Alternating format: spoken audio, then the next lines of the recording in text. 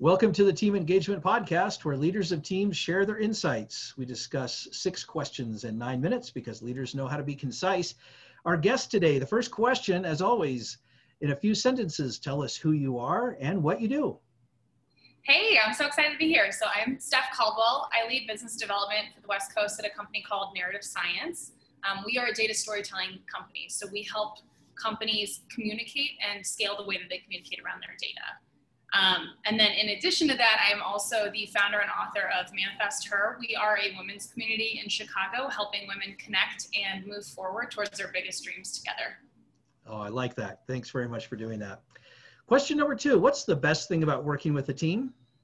So I come from the standpoint of being a former athlete. I played rugby in college, which for anybody who knows the sport of rugby, it's a very intense sport. Um, and one of the things that I think is so exciting about working on a team or being on a team in any capacity is when you win, you win together. When you lose, you lose together. And there's this mutual accountability and mutual respect to all of the different parts working together towards those wins or those losses.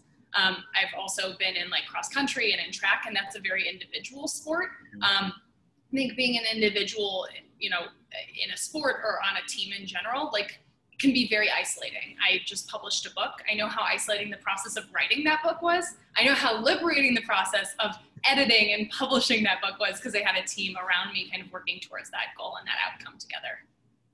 Oh, that's great. Great insights. Question number three, I hear from other leaders of teams that it can be a challenge to get team members engaged. Tell me your thoughts. So I lead a team of three at Manifest. And what I've found is that if team members aren't engaged, there's a few layers to like their lack of engagement. To me, the foundational layer, layer one, is do they understand what this business is trying to do? Do they understand our mission and is it aligned to what they get value in in their own life? Like, are they connected personally in some way to this mission? It doesn't have to be a big way. Like, I realize people get involved with businesses for different reasons. One could be like financially, right? I know that being a management consultant will pad my bank account. Awesome, like you're aligned in some way. Um, but another, and for me specifically, where I am as a, as a leader and an employee, is I have to be personally aligned to the mission and the value that that company is providing in the market. So if layer one is complete, then layer two is do they see their participation in moving that mission forward? Are they aligned to the, the tactical day to day things that they're doing to move that mission forward? We were chatting about this earlier, but if you're a customer support representative and you're taking phone calls and you're just taking phone calls but not realizing how you are contributing to this business being the number one in its industry and that being important because that changes humanity in some way, then you don't realize how taking that phone call that sucked actually contributes to the broader mission and impact that your company is trying to have on the world. So, with that layer complete, I think layer three for me is everybody ticks based on some kind of um, thing that they really enjoy in their work. So, there's been studies that have, have been shown that people um, kind of operate their best when they're in flow. What gets your individual employee into a flow state? How can you give them more of those opportunities? for people like me, I get in flow in high stakes presentation environments. Literally, like being on a podcast and improvising my answers is where I hit flow. But I have an employee who would literally shut down and not be able to talk for the rest of the week if we put her in the same environment because that is not what gets her in flow. What really gets her excited is program management, how you go from A to Z and all of the different pieces in between and how you streamline those things. So how can I give people like me more opportunities to get in flow state and opportunities for her to get her more, you know, flow state in her day to day? Because ultimately, like that's that is what keeps us going is knowing that we have more activities that we are really going to enjoy doing that align to what we like um, what matters to our company and how that matters like in in the broader world i like that a lot i like those three layers and being in the flow those are great comments Question number four, what other piece of advice do you have for leaders of teams? Um, I think it goes back to like, we are all human at the end of the day. I think about this a lot. Um, in the, the workplace, we have triggers, right? Triggers that question our ability to deliver, our ability to be good humans, our ability to like play the roles that we want to play in our lives. And we don't always talk about the fact that like we are fully integrated humans that have business lives and non-business lives. And we pull all of that baggage into every conversation that we're having. If you kind of like separate out like work and personal life you're not actually like going to have effective relationships with your team. So i would say like understand any baggage that they're carrying into any conversation and try to be empathetic in the same way that you'd want somebody to be empathetic to you to work together towards whatever outcome it is that you're looking to affect.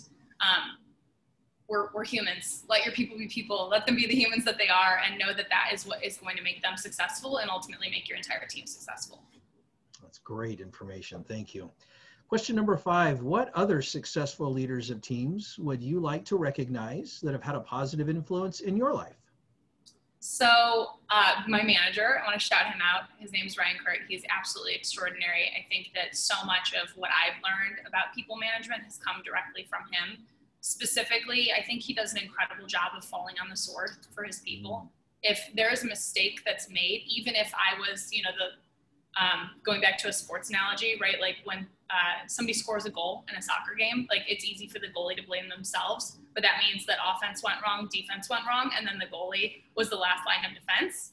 I think great leaders um, take accountability to their participation in negative outcomes, and um, in many ways don't want that uh, that uh, recognition when really great outcomes happen. They want to like elevate and promote their team. So shout out to Ryan, who's taught me a ton of that. And then also shout out to uh, a woman on the narrative science marketing team. Her name is Anna Shenna, who I think is a real thought leader and not just a thought leader, but a person who's kind of um, figuring out her leadership style as she's doing it. And her team keeps expanding because she's an incredible leader.